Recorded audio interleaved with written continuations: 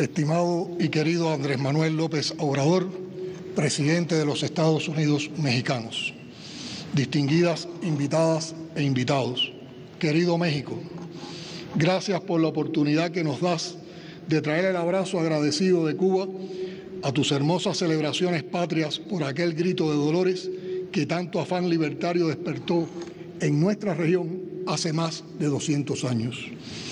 Entre todos los hermanos que nos dio nuestra América, México cuenta, por muchas razones, como uno de los más entrañables para Cuba. Ese afecto se une a nuestras, que une a nuestras tierras comienza con el deslumbramiento que nos provocan sus huellas profundas y diversas en la literatura y la historia de América. Cuánto es bella la tierra que habitaban los aztecas valientes, dice en el Teocali de Cholula el cubano José María Heredia, abriendo una fascinante puerta a ese mundo nuestro, muy anterior al de la terrible conquista que iniciaron siglos después, con matanza y destrucción sin freno, las tropas españolas que venían de Santiago de Cuba al mando de Hernán Cortés. Pero nadie nos diría más de México que José Martí. Cito fragmentos de su memorable discurso pronunciado en la velada en honor a este país en la Sociedad Literaria Hispanoamericana en 1981. Hoy nos reunimos a tributar honor a la nación ceñida de palmeros y azahares que alza como un florón de gloria al cielo azul las cumbres libres donde el silbato del ferrocarril despierta, coronada de rosas como ayer, con la salud del trabajo en la mejilla, el alma indómita que chispeaba al rescoldo en las cenizas de Cuauhtémoc, nunca apagadas. Saludamos a un pueblo que funde en crisol de su propio metal las civilizaciones que se echaron sobre él para destruirlo. Más adelante, refiriéndose a la significativa fecha que conmemoramos hoy, Martí expresa, 300 años después, un cura citó su aldea guerra contra los padres que negaban la vida de alma a sus propios hijos. Era la hora del sol, cuando clareaban por entre las moreras las chozas de adobe de la pobre indiada. Y nunca, aunque velado cien veces por la sangre, ha dejado desde entonces el sol de Hidalgo de lucir. Colgaron en jaulas de hierro las cabezas de los héroes, mordieron los héroes el polvo de un balazo en el corazón, pero el 16 de septiembre de cada año, a la hora de la madrugada, el presidente de la República de México vitorea ante el pueblo la patria libre ondeando la bandera de Dolores. Fin de la cita. Por sus características, el proceso independentista mexicano, que iniciara con el grito de Dolores protagonizado por el padre Miguel Hidalgo un día como hoy en 1810 y se consumara 11 años después con la entrada del ejército trigarante en la Ciudad de México, tuvo un notorio componente de reivindicaciones sociales e indigenistas que lo diferenció de otros procesos que tipificaron a la época de las independencias. Su impacto fue, sin dudas, extraordinario en la lucha libertaria y anticolonialista de nuestra región y particularmente en Cuba. Recogía aspiraciones ancestrales de pueblos enteros que habitaban el territorio no solo mexicano, sino también de Centro y Suramérica y de las Antillas. Reivindicaba a todos los sectores criollos pobres, blancos, negros y mulatos, sumidos en la miseria, el hambre y la explotación y se oponía a la esclavitud del negro.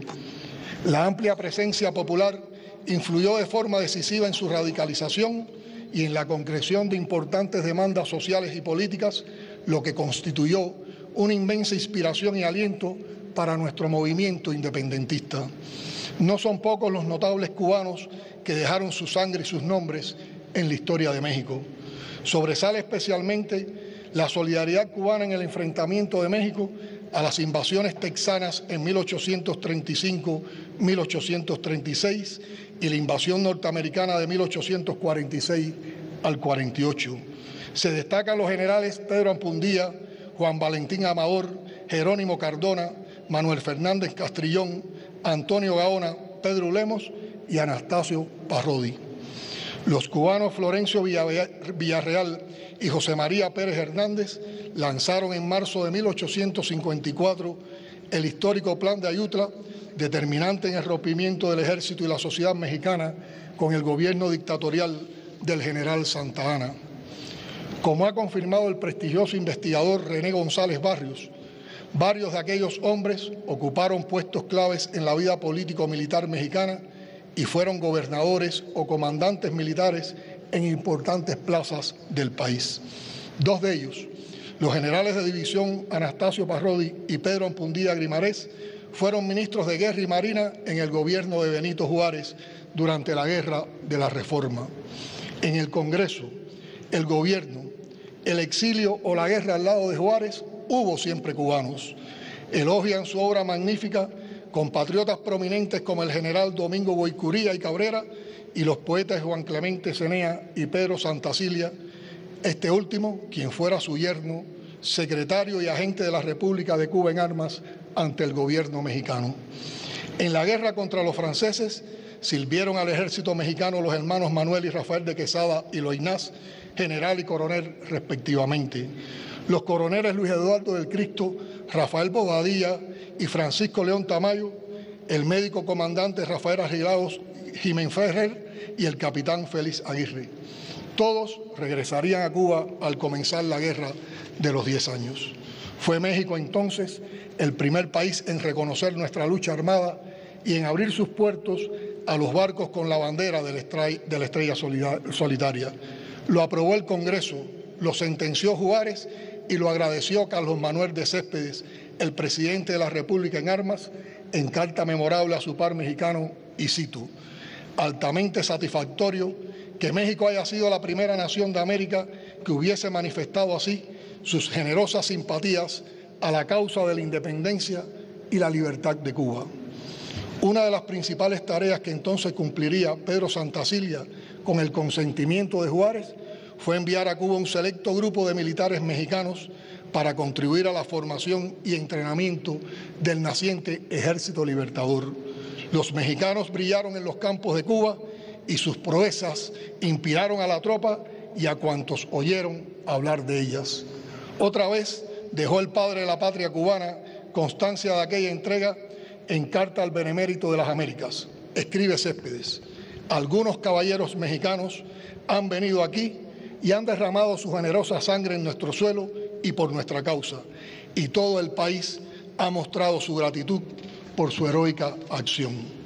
Dos de aquellos bravos militares mexicanos, veteranos de la guerra de la Reforma y la contienda contra el imperio francés, llegaron a ostentar los grados de general de brigada del Ejército Libertador cubano y conformaron parte del cuadro de sus principales jefes, José Inclán Risco y Gabriel González Galván.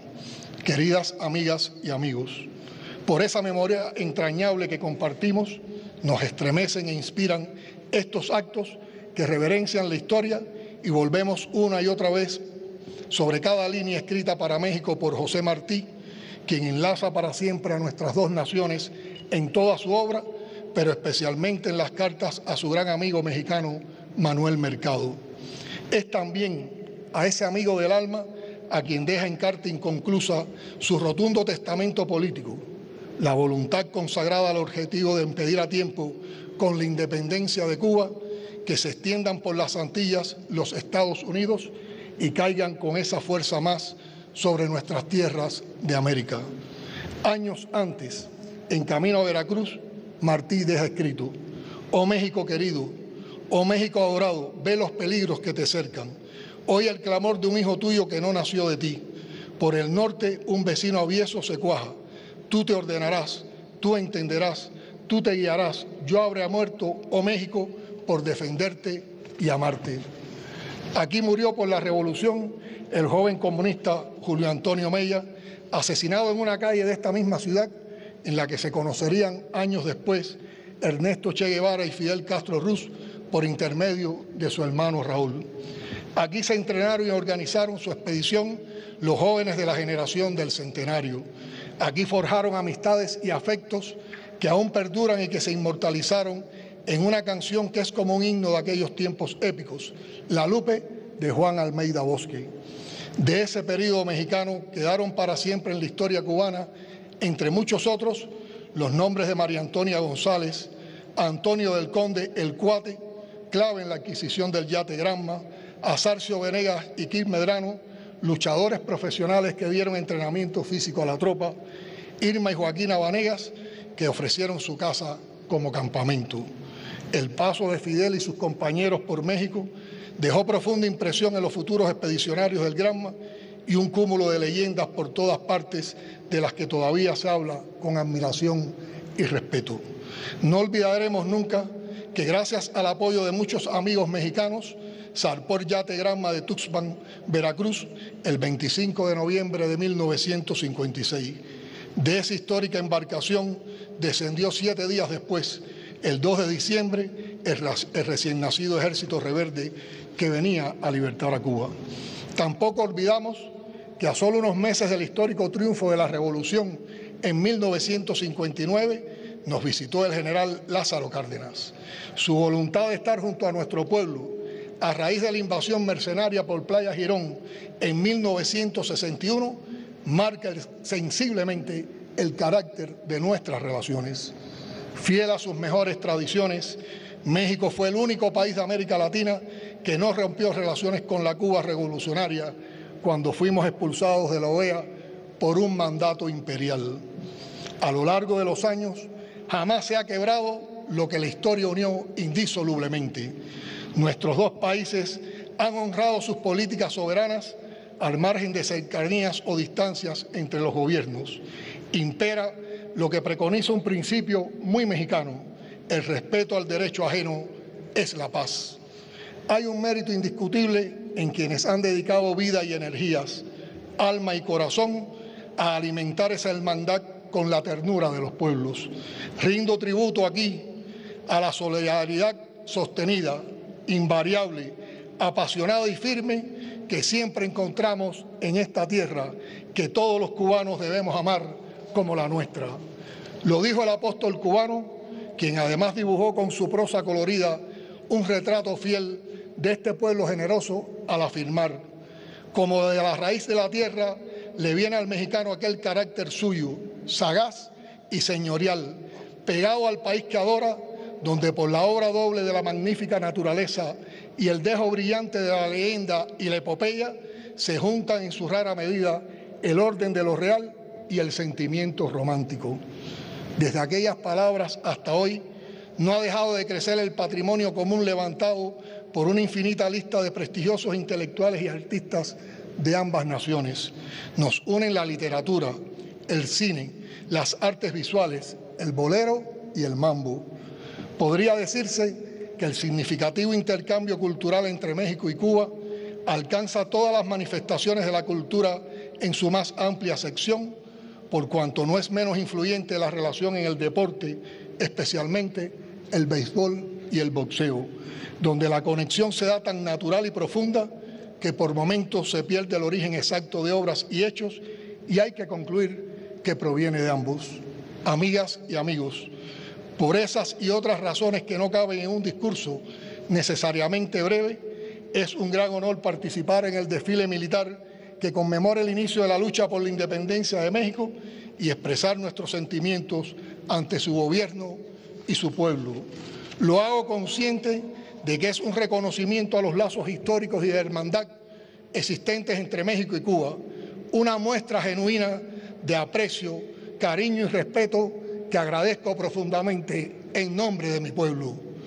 La decisión de invitarnos tiene un valor inconmensurablemente mayor en momentos en que sufrimos los embates de una guerra multidimensional con un bloqueo criminal recrudecido oportunistamente con más de 240 medidas en medio de la pandemia de la COVID-19 que tan dramáticos costos tiene para todos, pero en particular para los países de menor desarrollo. Estamos enfrentando paralelamente una agresiva campaña de odio, desinformación, manipulación y mentiras montada sobre las más diversas e influyentes plataformas digitales que desconoce todos los límites éticos. Bajo el fuego de esa guerra total, la solidaridad de México con Cuba ha despertado en nuestro pueblo una mayor admiración y el agradecimiento más profundo. Permítame decirle, querido presidente, que Cuba recordará siempre sus expresiones de apoyo, su permanente reclamo por el levantamiento del bloqueo y porque se convierta el voto anual de Naciones Unidas en hechos concretos, algo que su país ha cumplido de forma ejemplar para con nuestro pueblo. Agradecemos profundamente la ayuda recibida en insumos médicos y alimentos para paliar los efectos combinados del acoso económico y la pandemia. Hermanas y hermanos mexicanos, ante la compleja situación epidemiológica que enfrenta el mundo, la solidaridad y la cooperación entre nuestros pueblos adquiere mayor trascendencia. Por esa razón, nuestros profesionales y técnicos de la salud no dudaron en acompañar en cuanto fue necesario al pueblo mexicano y volveremos a hacerlo siempre que lo precisen. Reconocemos el excelente trabajo desempeñado por México al frente de la presidencia pro tempore de la Comunidad de Estados Latinoamericanos y Caribeños, mecanismo de genuina vocación latinoamericana y caribeña destinado a defender la unidad en la diversidad de nuestra América frente al proyecto de recolonización neoliberal que nos intentan imponer. Como expresara Fidel en un acto de amistad cubano-mexicana celebrado el 2 de agosto de 1980. Nada soportaremos contra México, lo sentiremos como propio. Sabremos ser fieles a la amistad que han forjado siglos de historia y de hermosos principios comunes. ¡Viva México! ¡Viva la amistad entre Cuba y México!